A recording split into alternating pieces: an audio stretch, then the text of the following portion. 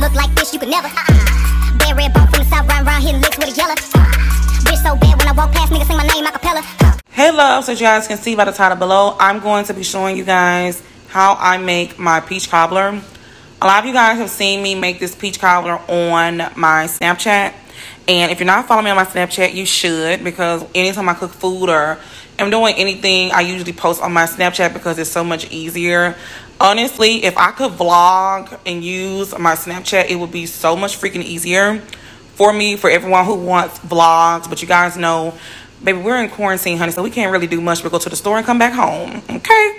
So as you guys can see i usually would make my peach cobbler homemade make my own dough and everything like that. But i'm going to show you guys the easiest way to make a southern style peach cobbler.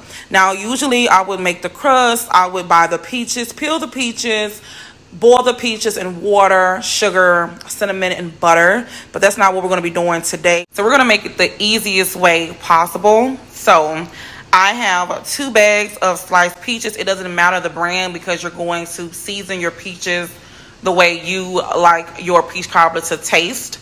And this is just my recipe, you guys. And honestly, I don't really measure anything. I have been cooking ever since I was like 13 years old. I'm about to be 35 years old. So you guys, I kind of know how much to use. I'll try to put across the screen how much I think it is because I'm not good with measuring. I just know how to make it. And like I said, two bags of peaches. You're not going to need all of the peaches, but you're going to need more than a bag. And then I have the deep dish crust. I am holding my phone recording instead of holding my camera because I'm still cooking other foods. So it's just better for me to use my phone. And I have, like I said, the two pie shells right here. You'll need regular sugar, brown sugar, honey, ginger, cinnamon sugar, nutmeg. I actually lost the top to my nutmeg.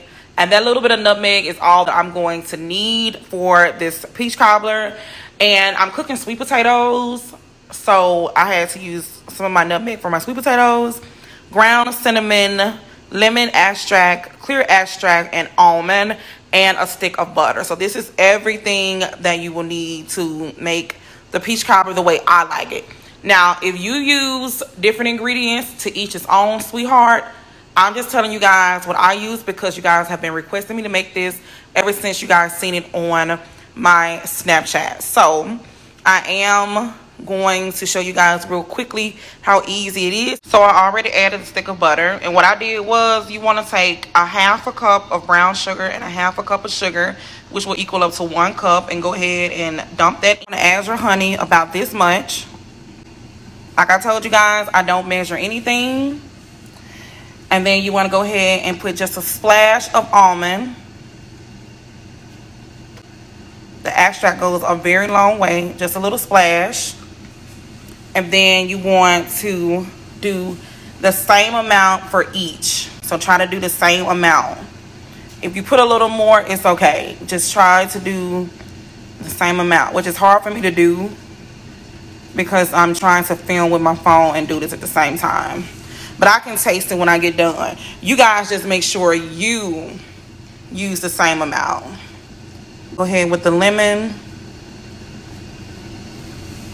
Okay and then we're going to go ahead with the ground cinnamon.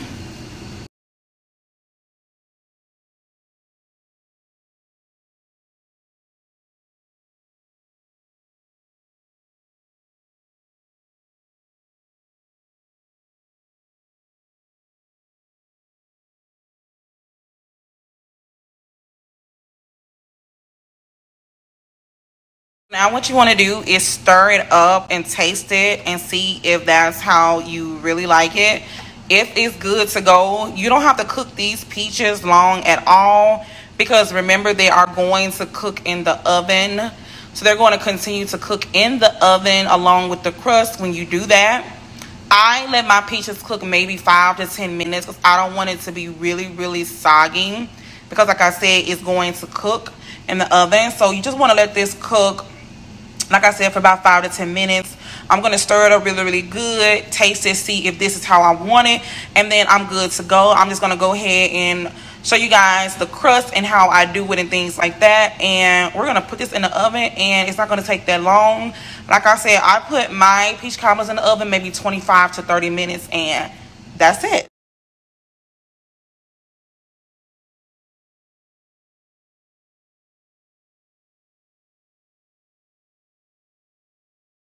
Okay, so they finna see how it tastes before I put it in the crust. What you think, Kalia? What you think, LaQuaz? Let's see what they think, y'all. Woo, it's hot. Hold on. Yeah, it's hot. Maybe I need another one. That man is good. He's talking about he need another mm. one. And he got another spoon. He didn't double dip. Mmm. What it tastes like? Mmm. They so crazy. What you think, son? Mmm. Give me another spoon. I can eat the peaches like that. Mmm. Don't Do you need double another dip. You better not double dip. You better get another spoon. Give me Oh, this, I got cause this spoon. good, girl. Ooh, look at him. Y'all see how they wasting these spoons playing? So is that a go? Definitely.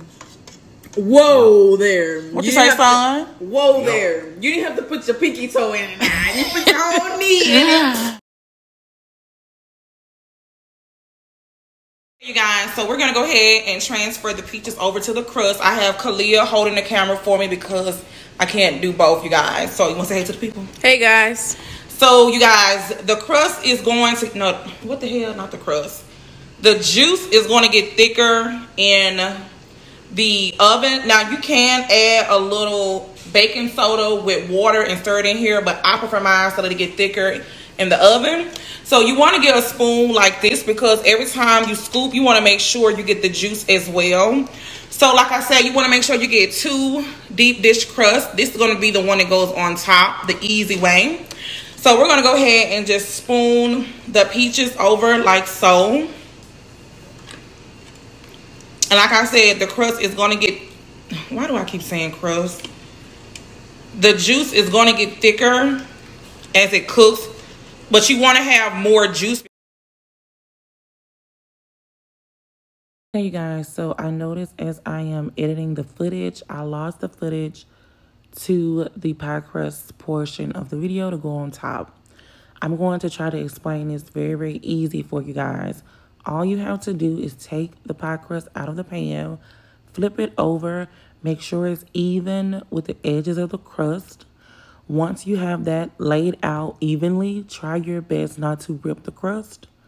You want to take a fork and pinch the size of the fork down so that each of the crusts will connect on the edges so that nothing spills out.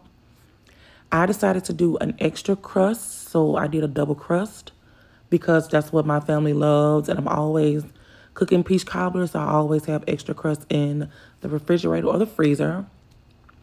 You want to make sure you put the oven on 350 and cook it for 25 to 30 minutes or until it's brown on top. Also, once you have put the cry, the oh my god, the pie crust on top, you want to take some melted butter, drizzle it on top, and add just a little sugar on top of the peach cobbler so that you can have that nice brown crusted golden look on top of your peach cobbler. And that's pretty much it you guys. Very very easy to make. I'm sorry some of the footage did not export but i was filming with my phone for the first time ever. And i am filming on my 11 pro max. If any of you guys wanted to know what the quality of the phone looks like when you are recording on your phone so that is the portion of the video of how you guys put the pie crust on top to make sure your peach cobbler comes out perfectly golden brown on top. Just try your best, you guys, not to rip or tear the pie crust on top. Then you will have probably ruined your peach cobbler. But I will insert some footage showing you guys exactly how the double crusted um, looked while it was in the oven as it was cooking. This is how the peach cobbler look, you guys. As you can see, it's still juicy. I did end up adding another crust on top to make it double crusted. You don't have to do this. And then all I did was added a little melted butter on top and added some sugar when it was probably like five minutes before I took it out of the oven. And I put like butter around the crust, as you can see. And then I added sugar on top. I did let this cook in the oven for 20 to 25 minutes on 350 degrees. So yeah, I'm about to fix a plate up and show you guys how we eat it in our home. The uh, peach cobbler look with the ice cream. And like I said, you don't have to add some of the juice from the peach cobbler, but that's just how we like it. So I'm gonna go ahead and just drizzle some of the peach cobbler on top and we're pretty much done with this video. Just drizzle some of the juice on top as you guys can see. My kids usually add caramel drizzle on top. So uh, this is the end of the video. I hope you guys enjoyed this real quick like unedited type of video. This was a video i just decided to go ahead and make since you guys requested me to make it on my snapchat. Shout out to my snap to my snapchat fam for requesting this video. And yeah if you guys decide to make this don't forget to snap me or dm me on instagram. And that's pretty much it. Enjoy this video. Don't forget to give this video a big thumbs up leave it in the comments what other cooking videos you guys would like to see and i love you guys so much and until next time you guys bye